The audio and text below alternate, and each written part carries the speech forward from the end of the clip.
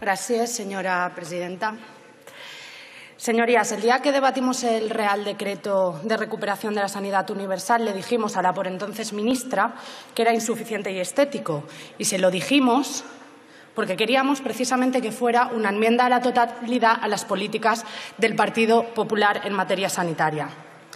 Por eso lo tramitamos como proyecto de ley, para mejorarlo, porque entendíamos que le faltaba valentía para abordar la mala gestión que se había hecho en materia sanitaria. Y hoy nos encontramos con una enmienda a la totalidad para volver a esa mala gestión. Y encima nos llaman irresponsables. Pues miren, lo que es irresponsable, de verdad, es dejar a, más de 900.000 personas fuera de la atención sanitaria.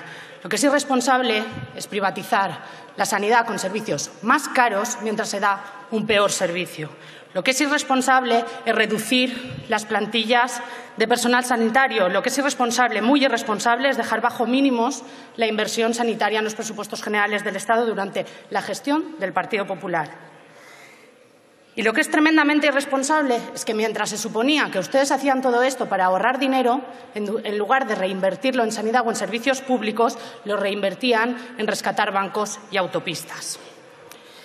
Y encima de eso, lo peor, porque si todo esto no fuera malo ya de por sí, lo peor y lo más irresponsable de todo es que vienen aquí hoy a decirnos, literalmente, que este Real Decreto produce un peligroso efecto llamada, que es barra libre sanitaria. O sea, suben aquí a darle miedo a las personas, a decirles que tenemos que elegir entre atender personas inmigrantes o atender personas autóctonas.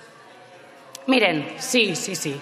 Miren, señorías del Partido Popular, les voy a leer algunas declaraciones. Seguramente, seguramente las reconocerán.